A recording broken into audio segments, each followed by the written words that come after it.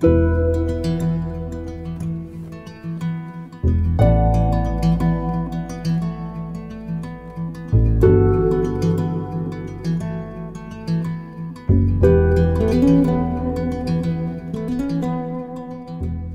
let me pull this together by addressing now what I call good decision making. See, bad decisions are the result not just of people not wanting to do the right thing, they often result from good people not asking the right questions. So, what's needed is a framework that brings rigour into analysing the difficult ethical issues you face when it's not clear what it is you ought to do. See, ethics is, you know, most of the things we have to do every day, it's very clear what we need to do. But always there's a few things that arise or something that arises, and it's not clear what you ought to do.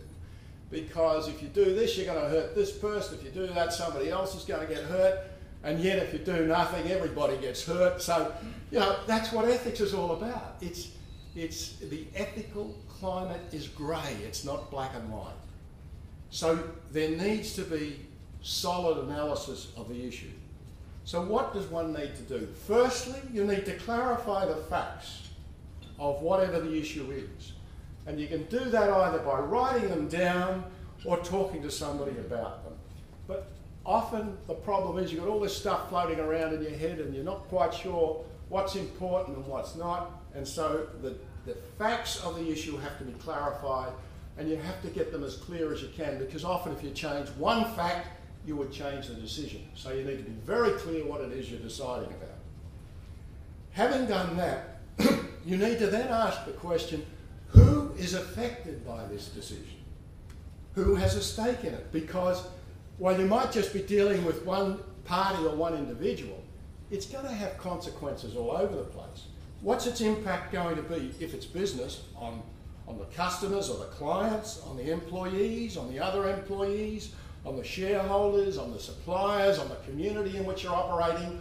All of these things need to be broken open. And then you need, and this is the step that's always overlooked, to look at what options do you have. Now, at this point, you need to do a bit of possibility thinking and just leave the ethics out of it at this stage. Many people think you can either do something or you can't. But often, as they say, there are more ways to skin a cat. Um, if you break the issue open, there may be other ways of approaching it.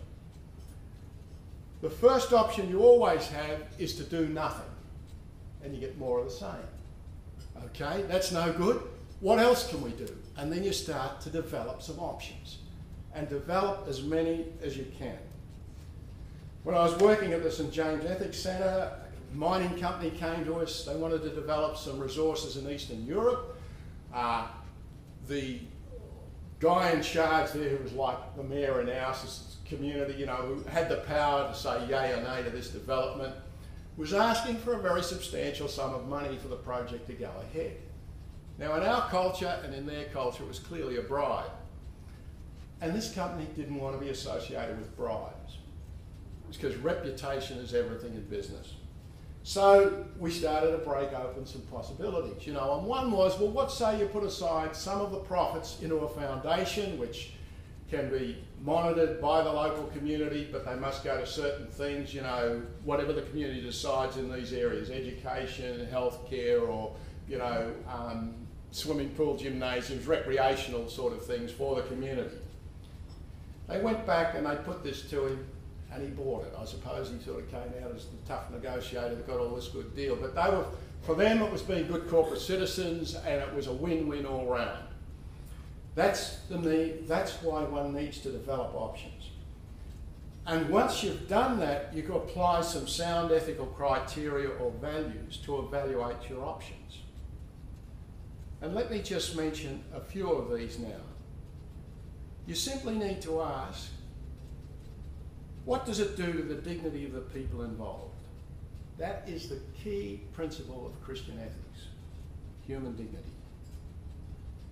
Or another great question is it fair to the different parties involved? How does it affect the common good? These are the ways in which you break it open and finally come to a decision. You choose your best option. It may not be perfect, it may be simply minimising the harm that was being done, but that's better than the harm that was being done. And finally, give it the sunlight test, which is would I be happy if it appeared on the front page of the paper tomorrow morning? Because if you're a, an organisation, you can be sure that it probably will. That's the sort of stuff journalists love. If there's some inconsistency between what's being done and what an organisation or company stands for. But let me break open now a few other values of business. Fairness. This means that individuals are not disadvantaged for irrelevant reasons such as race, gender, religion, or sexual orientation. Unfair dealings destroy the morale of an organisation and contribute to a climate of cynicism. Honesty. This implies the avoidance of deception, be it in financial reporting, marketing strategies, or communications with others. Integrity is a key business value. It means avoiding improper influences or conflicts of interest that would undermine a person's independent or unbiased judgment. Efficiency is key in business, which implies a careful use of resources and responsible stewardship for the limited resources available. And finally, accountability, which means accepting the consequences of one's decisions. All of these values help shape the business environment and thereby help humanize it, which divinizes it.